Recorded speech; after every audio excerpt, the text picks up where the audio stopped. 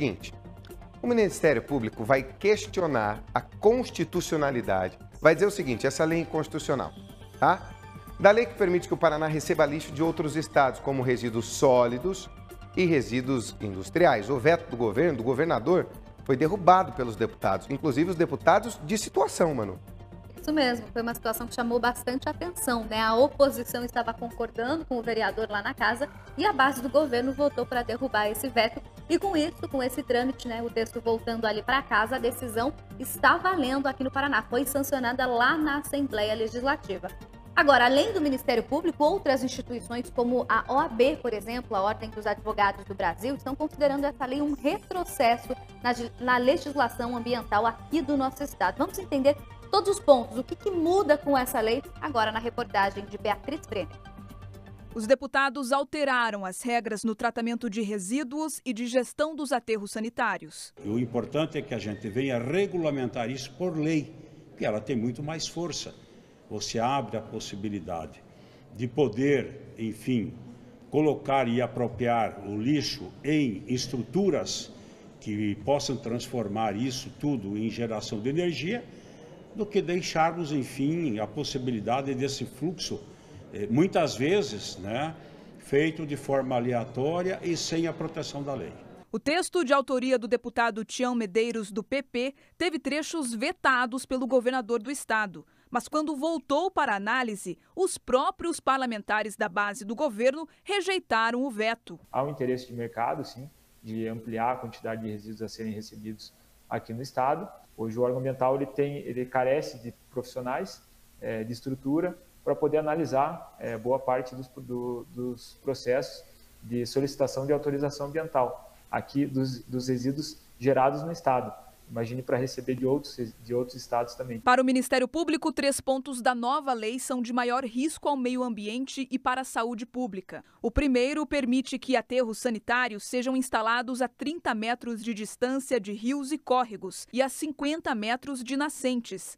A regra anterior determinava uma distância mínima de 200 metros. O segundo ponto facilita a ampliação de aterros sanitários. A nova lei possibilita que aterros que já operam com 20 toneladas de lixo por dia possam aumentar a atividade sem apresentar estudos de impacto ambiental detalhados, o chamado EIA-RIMA. O terceiro ponto e mais polêmico é que os deputados autorizaram as empresas do Paraná a receberem resíduos urbanos e industriais classes 1 e 2 o que inclui lixo considerado de alto risco para manejo por se tratar de material tóxico. Os resíduos industriais classe 1 incluem cinzas, óleos, ácidos, borracha, que podem ser importados. Fazem parte dessa categoria também os materiais radioativos, reativos e explosivos, que foram excluídos da nova lei e não podem ser importados pelo Paraná. Já os resíduos classe 2 estão todos autorizados. Estes são considerados lixo comum, como material orgânico, papel, vidros e metais. Segundo um levantamento feito pelo Ministério Público, o Paraná não tem estrutura nem para tratar o lixo que é gerado no próprio estado. 70% da gestão de resíduos é feita em lixões e não em aterros sanitários, que são menos nocivos ao meio ambiente. O estado do Paraná não consegue ainda fazer a, gestão adequada dos resíduos atualmente existentes no nosso território.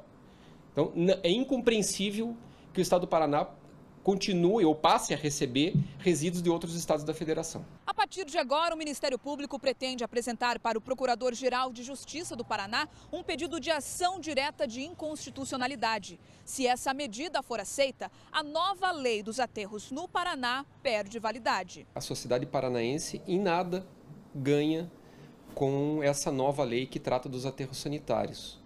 Na nossa avaliação, são diversos retrocessos ambientais e um aumento significativo dos riscos ambientais, sociais e a saúde pública é, com essas mudanças. Olha, a forma como foi discutida foi uma forma para que você e eu não soubéssemos o que estava acontecendo e eu falo por quê. Porque foi passada com pedido de urgência na Assembleia. Sai da CCJ, que é a Comissão de Constituição e Justiça, onde você avalia se a lei é constitucional ou não e põe ela para rodar. Não passa pelas outras comissões. Vai direto para plenário, sai de um e vai para o outro. Vota, resolve. Isso aqui é o tipo de discussão que nós deveríamos ser chamados, porque vai afetar a nossa vida. Você pode ter um lixão aí perto da tua casa, atrás da tua casa, a 20 metros de uma nascente de rio, que pode contaminar lençol freático, sem autorização ambiental, sem a fiscalização ambiental necessária. O povo deveria ter chamado nessa discussão. Tem lei de 2012, tem lei de 2020, tem lei de 2021, tem autorização de 2022. Precisava dessa lei? Não. Alguém está ganhando com isso, não somos nós. Ponto. Não somos nós a população. A gente discussão necessariamente foi um erro da situação e da oposição. Porque passou por comissões e nas duas primeiras votações todo mundo concordou.